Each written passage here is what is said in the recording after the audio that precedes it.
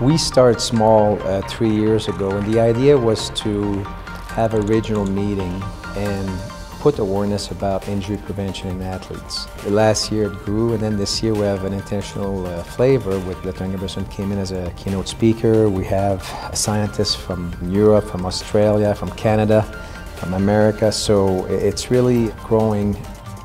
A few years ago, where some of the some of the really really high level athletes came up and told us that you know they had suffered from depression. And now the IOC we have worked two years now with experts from around the world and we met uh, a year ago in Lausanne and we've written up uh, a consensus statement uh, that is uh, the view of the IOC uh, and it will be published now. And I think we really put a lot of emphasis on this mental health issue.